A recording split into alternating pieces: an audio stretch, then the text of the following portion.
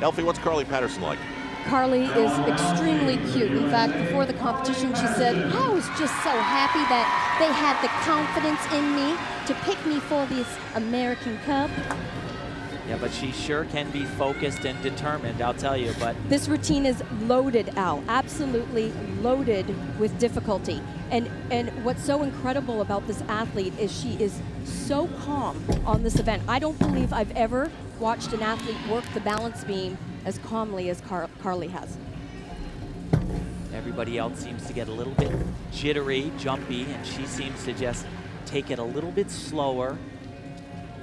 And remember, this is an athlete that's come Watch from the this right junior division. Very difficult, incredible Arabian front somersault.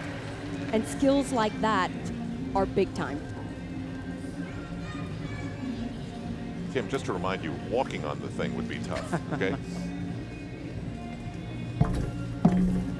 We have to set you up for one of the biggest dismounts in the world.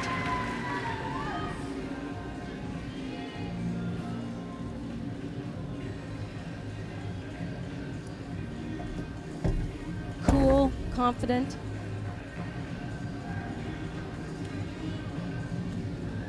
Here's this dismount. It's called a Super E.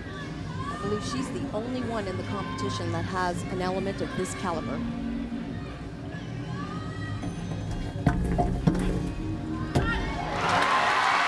Wow. A 9-6, a 9-7, and she looks like she's headed to another big number. Kaliska is cool. Kaliska is the cool baby. Good All job. right. Good job, Excellent baby. Good job. Excellent. Excellent.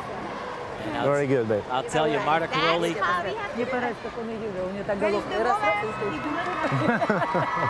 she is looking for those cool customers The cool baby. under fire.